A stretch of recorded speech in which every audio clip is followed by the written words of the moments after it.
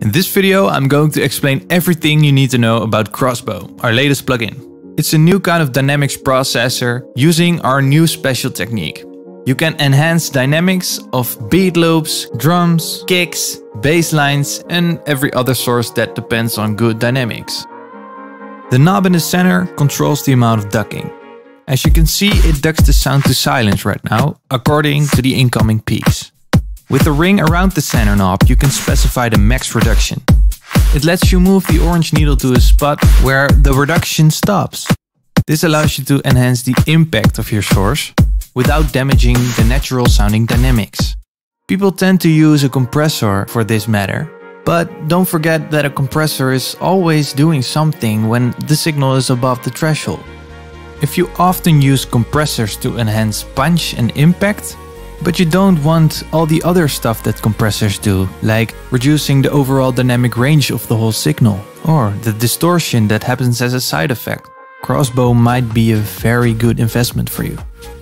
But let's move on. The attack and release knobs lets you shape how the plugin reacts to incoming peaks, giving you control over the length of the initial attack and how long it takes to return to its resting position. When setting the release time, make sure the needle is back at resting position when it starts ducking again. The small gear button between the bypass switch and the output gain opens the settings panel. Here you can select different oversampling combinations, the visual response of the needle, and switch to external sidechain mode.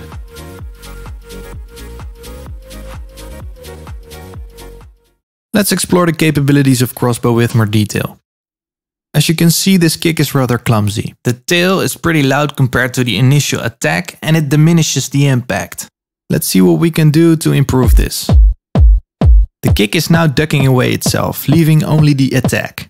By setting the max reduction needle, we're not ducking to silence anymore, but to an attenuated version of itself, leaving us with a tail that actually complements the attack. This all without the tail being squashed, like a compressor would do. It was internally switched to an attenuated version of itself.